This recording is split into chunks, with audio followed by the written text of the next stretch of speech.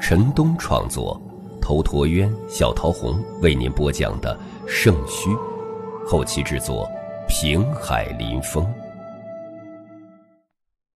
第一千五百六十七集。大有来头的女人，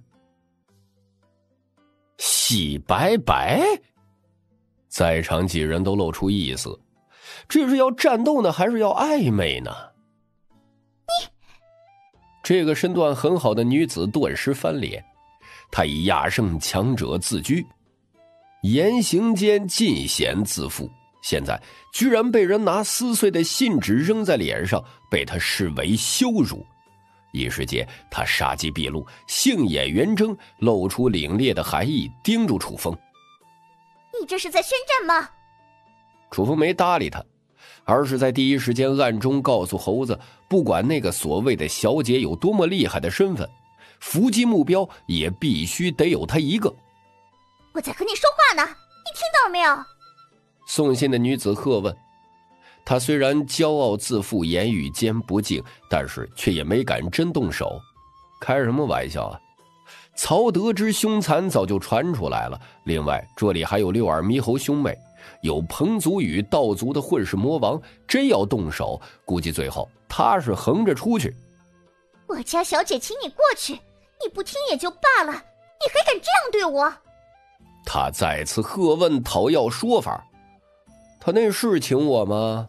那是命令我去请罪，他让我过去我就过去啊！他是我什么人？楚风看了他一眼，脸色浮现寒意。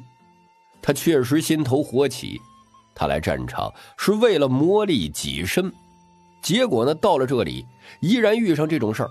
有些人想只手遮天，对他潜规则，但是他是这种人吗？要知道。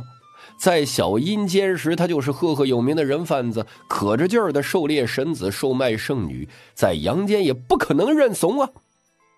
所以不久前，他就化身成了暴躁老哥，很耿直的二次打残洪胜。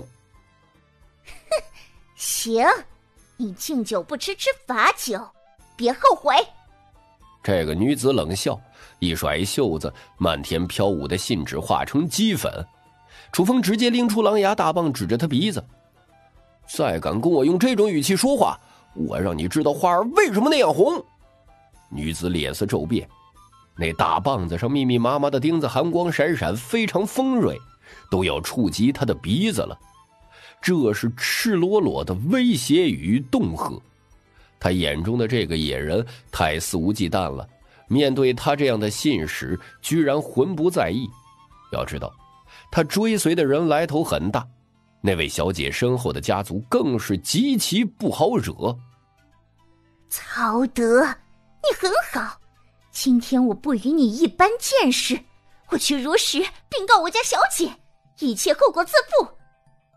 女子说道，向后退去。她愤恨无比，每次跟随他家小姐出行，无不被人恭维，哪里遇上过今日这种情况？她觉得。拿手指向他的鼻子也就罢了，那个野蛮人居然用狼牙大棒点指他鼻子，野性难寻，太蛮横了！你再威胁我一句试试看！楚风血气滚滚，虽然在金身层次，但不惧亚圣，就这么逼过去了。迷青无语，清丽如仙的容颜略微愕然，这是他哥的那条狼牙棒。很快，他恢复平静。这个曹德还真跟传说中的一样凶残，难怪连他哥哥在第一次见面时都被他揍了一顿。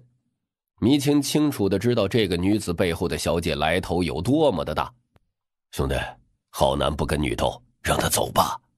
彭万里抱住楚风的那条手臂，还真怕他一棒子抡下去，在这里杀生。现在。楚风在他们眼中俨然已经跟疯狂起来，连自己人都打这个传说话等号了，还真怕他当场发作与癫狂。如果让楚风知道他们的念头，保准先打他们一个满头大包。哼，行，我走。曹德，你记住，你注定没有什么好下场。敢轻慢我这个姓史，撕碎我家小姐的信笺，不服从他的命令去请罪。你等着好看吧！那女子冷笑，扬着下巴，掀开大帐向外走去。楚风面沉如水，又一次被威胁了，而且还是那个小姐的侍女。轰隆一声，这一刻他猛然掷出，将狼牙大棒丢了出去，用力，这叫一个猛啊！满是锋锐钉子的大榔头直接翻着跟头飞了出去，太迅疾了。这一刻。别说那女子，就是弥天、逍遥几人都没有反应过来，压根就没有料到曹德直接下黑手。他们真是头大如斗。那女人非常的不好惹，哪怕跟他们几人都不睦，他们都在犹豫要不要伏击那女人。现在曹德这么干脆，第一次见面就先打她侍女了。显然这个女子压根就没防备，她不认为以自己的身份临走前还会挨一棒。噗的一声，这状若雷霆般的狼牙棒光束滔滔，正砸中那个女子的后臀，这叫一个凄惨。她直接就横飞了起来，血液四溅。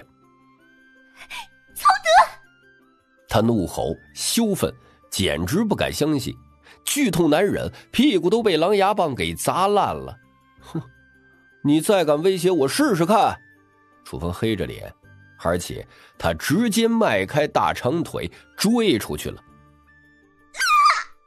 女子嗷的一声惨叫，外加心惊肉跳，架起一阵狂风，直接逃遁而去。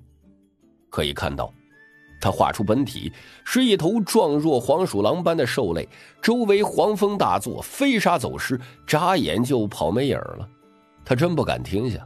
就没有见过这么可恶的男子，居然对他动手了，砸得他屁股开花，让他羞愤欲绝，恨死曹德了。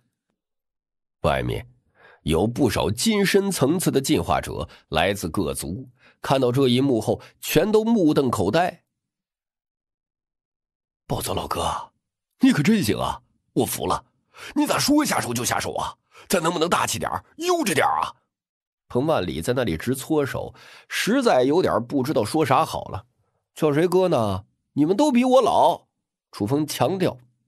可是，这是重点吗？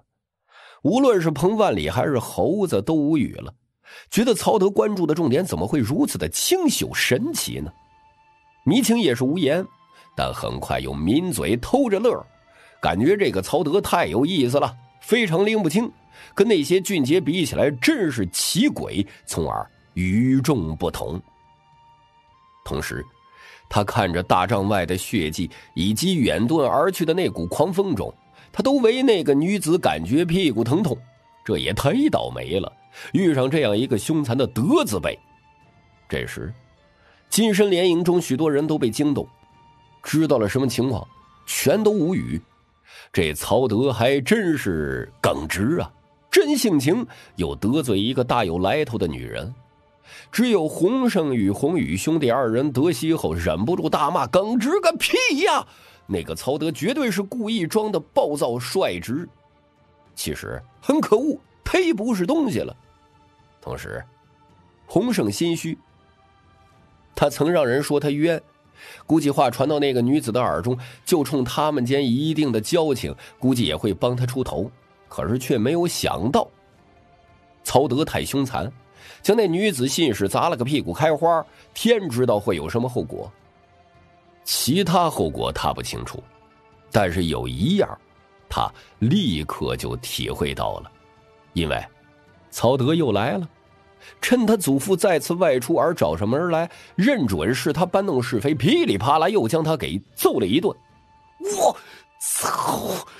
曹德，他恨不得破口大骂。刚换好珍稀大药，这才又要养好伤，他大爷的又被揍了。同时，连带着他弟弟洪宇也又被暴打一顿，气得直翻白眼，直接昏死过去，在昏沉中还在痛的抽搐呢。关我什么事儿啊？又不是我喊他来向你问的罪。曹洪咬牙切齿。他不知道又要养多久的伤了，这大药糟践了不止一株，太浪费了。不管你信不信，反正我信了，就是你喊人来的。楚风都不带听他解释的，打完人后直接就拍拍屁股走人。大爷的，这洪胜气得哆嗦，真想跟他拼命啊！太可耻了，太可恨了，太可气了也！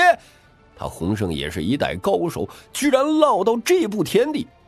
兄弟，兄弟，你今天也太猛了，就这么对一个女人下手，不不太好吧？彭万里说道。楚风的耻笑，哼，他都蹬鼻子上脸了，我还能陪笑不成？惹了本座，我还管他是男的女的？这是实话。当年在小阴间时，他又不是没对那些圣女下过手，捆了一群，最后还卖出去不少呢。同时，他对自己孩子他妈最初都下过黑手，打生打死，最后意外有了小道士。本集已经播讲完毕，感谢您的收听，请您多多点赞、评论，喜欢请订阅此专辑，转发到朋友圈，谢谢。